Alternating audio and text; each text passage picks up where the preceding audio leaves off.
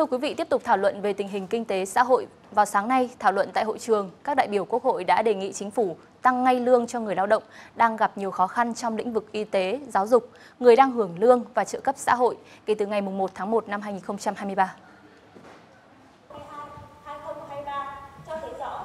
Lấy câu chuyện gần 40.000 công chức, viên chức, người lao động tại khu vực công nghỉ việc, các đại biểu Quốc hội đã đề nghị chính phủ làm rõ nguyên nhân, hậu quả của tình trạng trên. Theo các đại biểu, lý do khiến giáo viên hay đặc biệt là bác sĩ nghỉ việc không chỉ là áp lực công việc tăng cao hay sợ bị xử lý trách nhiệm. Và tôi thấy y tế Việt Nam đã và đang bị trao đảo. Xin thưa đến nay vẫn còn chưa thực sự hết trao đảo. Cán bộ y tế ồ ạt xin ra khỏi khu vực công, thuộc men sinh phẩm phải phẩm vẫn bị thiếu. Việc mua mua sắm trang thiết bị đồ bổ sung cho bệnh viện đang bị đứt đứt gãy, đình đốn. Vấn đề tự chủ bệnh viện có nguy cơ bị đổ vỡ. Về vấn đề lương và chế độ phụ cấp đối với viên chức ngành y tế trong hệ thống y tế công lập là thấp, nhất là tại các cơ sở y tế dự phòng và y tế cơ sở. Theo quy định, chế độ lương và phụ cấp hiện nay thì một bác sĩ sau khi học 6 năm, 18 tháng thực hành để được cấp chứng chỉ hành nghề, nếu tuyển dụng vào đơn vị sự nghiệp công lập ngay thì được hưởng mức lương là 3 triệu 486 nghìn đồng và với phụ cấp ưu đãi nghề là 40% sau khi trừ nộp bảo hiểm xã hội, bảo hiểm y tế và các loại phí khác thì một bác sĩ mức lương còn lại chưa đến 4 triệu đồng và một điều dưỡng thì chưa đến 3 triệu đồng. Mức lương này chỉ đảm bảo một phần thu nhu cầu cuộc sống và nguyên nhân nữa đó là do áp lực về việc thiếu điều kiện, cơ sở vật chất để thực hiện nhiệm vụ chuyên môn.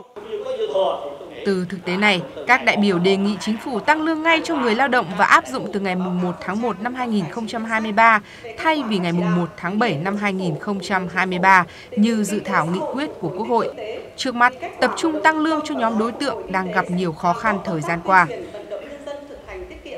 Có ngay nghị quyết cải cách tiền lương và thu nhập của cán bộ công viên chức theo nguyên tắc lương thu nhập phải đủ để người lao động tái sản xuất mở rộng sức lao động và chăm lo một phần cho gia đình. Và xin lưu ý là mức sống tối thiểu ngày nay không chỉ là ngày ba bữa cơm mà một năm thì hai bộ quần áo như thời bao cấp. Trước mắt để nguồn lực không bị quá tải, những đối tượng thu nhập thấp nhất không đủ cho mức sống tối thiểu cần được tăng lương ngay lập tức kể từ 1 tháng 1 2023 và đề nghị ưu tiên quan tâm đến hai ngành y tế giáo dục và những người hưởng lương hưu hay trợ cấp thu nhập thấp.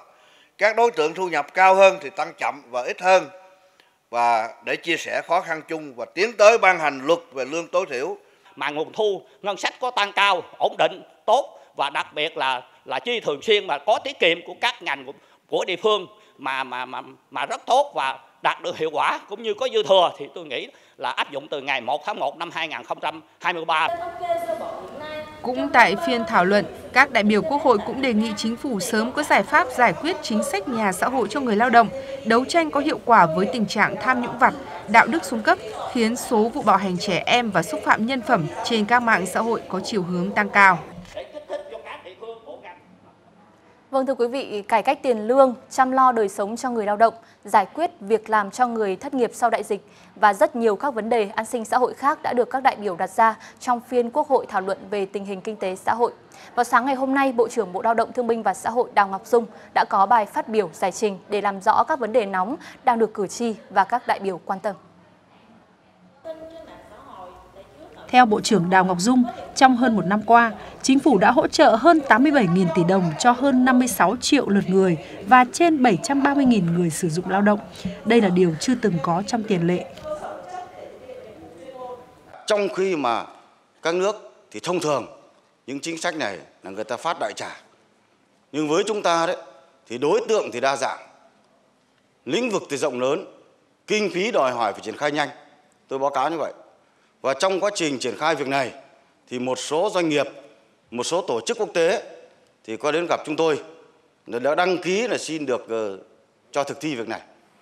Vì họ cũng nghĩ rằng là chúng ta phát tiền như các nước, là phát tiền tất cả các nhà như nhau. Nhưng mà khi chúng tôi nói cách của chúng tôi khác thì họ xin phép là không tham gia được. Vâng. Từ những chính sách an sinh xã hội đã ban hành, Bộ trưởng Đào Ngọc Dung nhìn nhận đời sống của nhân dân đã được cải thiện một bước. Ông lấy ví dụ thu nhập bình quân của số người lao động trong quý 3 đạt 7,6 triệu đồng một người, tăng 1,6 triệu đồng so với cùng kỳ năm 2021 để dẫn chứng cho nhận định này. Nếu như đây, cách đây một năm, chúng ta rất lo lắng khi đại dịch tấn công vào các khu công nghiệp khu chế xuất, nơi mà thành trì của phát triển kinh tế. Thế rồi dòng người gần 3 triệu người di chuyển từ thành phố Hồ Chí Minh, các cực tăng trưởng của chúng ta về các địa phương. Thì đây là những vấn đề mà thực sự lúc bây giờ rất lo lắng. Đến nay, quy mô lao động của chúng ta đã đạt 51,9 triệu người, tăng 2,8 triệu người so với cùng kỳ. Tỷ lệ lao động tham gia vào thị trường lao động của chúng ta đạt 68,7%. Tỷ lệ thất nghiệp của chúng ta trong quý 3 đến thời điểm này là 2,28%. Như vậy có thể thấy rằng chúng ta thuộc các cái quốc gia mà có tỷ lệ thất nghiệp thấp. Ở thời điểm này thì nước Mỹ khoảng 3,5, 3,5%. Chúng ta thấy điều này. Tuy đạt được một số kết quả khả quan, nhưng theo Bộ trưởng Đào Ngọc Dung, năm 2023, Việt Nam còn phải đối mặt với nhiều thách thức mới, nhất là trong lĩnh vực đào tạo lao động chất lượng cao, năng suất lao động thấp. Ông nhắc lại vướng mắc liên quan đến công nhận học sinh cấp 2, cấp 3 trong các trường nghề. Đây là vấn đề kéo dài khi nhiều đại biểu đã chất vấn Bộ trưởng Phùng Xuân Nhạ từ Quốc hội khóa 14. Chủ tịch Nguyễn Thị Kim Nhân nhiệm kỳ đó cũng đã có kết luận bằng văn bản. Tuy nhiên vấn đề này đến nay vẫn chưa được tháo gỡ. Thưa quý vị, Tránh Văn phòng Sở Giáo dục và Đào tạo Thành phố Hồ Chí Minh cho biết, Ban giám đốc sở đã quyết định lùi giờ học đối với học sinh các cấp từ mầm non đến trung học phổ thông. Theo đó, giờ vào học buổi sáng của học sinh mầm non và tiểu học không sớm hơn 7 giờ 30 phút, học sinh trung học cơ sở không sớm hơn 7 giờ 15 phút, học sinh trung học phổ thông không sớm hơn 7 giờ. Ngoài ra, các trường từ mầm non đến trung học phổ thông phải xây dựng kế hoạch để mở cửa trường học đón học sinh từ 6 giờ 30 phút mỗi ngày, tạo điều kiện thuận lợi cho những phụ huynh cần đưa con đến trường sớm để đi làm. Dự kiến đầu tuần sau, Sở sẽ có văn bản hướng dẫn cụ thể về việc này. Theo Sở Giáo dục và Đào tạo thành phố, tùy từng điều kiện cụ thể của từng trường, tình hình giao thông ở các địa phương, nhà trường sẽ xây dựng giờ vào học, giờ ra về theo hướng lệch ca lệch giờ với các khối lớp, đảm bảo quy định về chương trình giảng dạy, đảm bảo sức khỏe cho học sinh và tránh ủn tắc giao thông. Riêng với các trường nằm trên một cung đường cần có sự bàn bạc với nhau để ấn định giờ vào học, giờ ra về lệch nhau, tránh tình trạng kẹt xe trước cổng trường và kẹt xe trên cung đường đó. Được biết trước đây thành phố Hồ Chí Minh từng có dự thảo đề án lệch ca lệch giờ và ngành giáo dục là một trong những ngành thực hiện.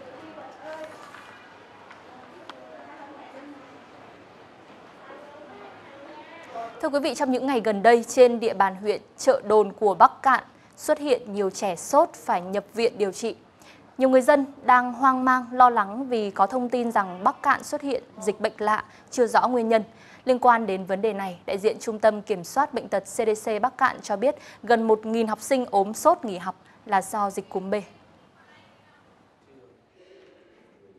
Chiều nay 27 tháng 10, bà Mai Thị Thúy, Phó Giám đốc Trung tâm Kiểm soát Bệnh tật CDC Bắc Cạn cho biết, theo kết quả xét nghiệm từ Viện Vệ sinh Dịch tễ Trung ương, nguyên nhân khiến trẻ sốt nhập viện là do mắc cúm B, 5 trên 7 mẫu dương tính.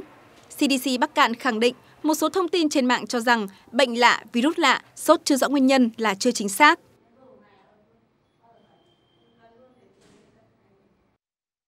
Cái ổ dịch ờ, ở tại chợ đồn xác định nó là ổ dịch cúm B. Trung tâm kiểm soát bệnh tật uh, có lấy ờ, 7 mẫu bệnh phẩm uh, gửi viện vệ sinh dịch tễ uh, trung ương để xét nghiệm thì uh, có 5 mẫu là dương tính với lại cúm B và hai mẫu thì có âm tính với cúm B. Thì bên cạnh đó thì trung tâm y tế huyện Trợ Đồn cũng có thực hiện uh, làm test nhanh với lại cúm B thì cũng có xét nghiệm làm uh, xét nghiệm 5 mẫu thì cũng xác nhận được ba mẫu là dương tính với cúm B.